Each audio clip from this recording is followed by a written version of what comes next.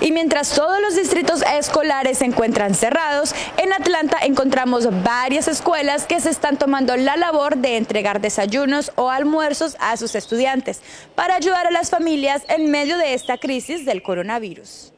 En Estados Unidos son 22 millones de estudiantes que dependen de un almuerzo escolar gratuito o de precio reducido como fuente principal de su nutrición diaria, según la Asociación de Nutrición Escolar. El viernes pasado, la Cámara aprobó abruptamente un paquete de ayuda de COVID-19 que autoriza al USDA a permitir que los estados proporcionen cupones de alimentos a familias cuyos niños pierden comidas gratuitas o de precios reducidos cuando las escuelas cierran debido a la pandemia. Hablamos con la consejera escolar de la preparatoria de Norcross y nos comentó sobre los requerimientos que necesitan las familias para recibir esta alimentación gratuita. Los requisitos para recoger los alimentos es ser estudiantes, no necesariamente de esta escuela de Norcross High School, por ejemplo, pero sí tienen que ser estudiantes del condado. Pueden venir con sus padres los estudiantes. Es un requisito que el estudiante sí esté presente con el padre y empiezan a servir los alimentos desde la 11 de la mañana hasta la 1 de la tarde. También hablamos con otra funcionaria del colegio y nos habló sobre los beneficios que conlleva este programa. So, ya vemos que los números están aumentando porque ya las familias están ah, pues, sabiendo lo que está sucediendo aquí y que tienen la oportunidad de venir a buscar almuerzo por sus hijos. Okay?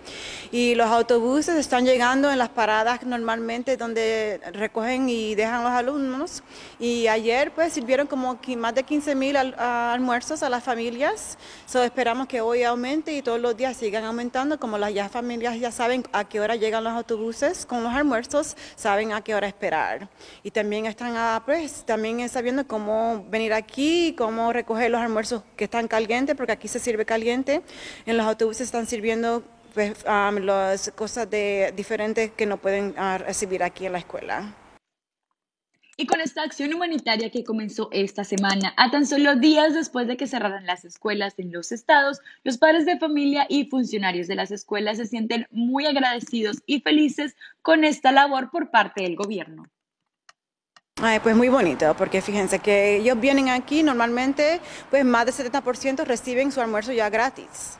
So, estando sin y no, teniendo esa oportunidad aquí en la escuela, por lo menos lo tienen en sus casas y se lo estamos brindando a ellos allá. So, por lo menos tienen esa oportunidad de comer. Creo que está muy bonito que ahorita cuando estamos en pánico que debían dar noche a nuestros niños y tenemos la comida para los niños, para la, casa, tienen con brócoli, ah, leche, por favor, ven con los niños, es todo de gratis.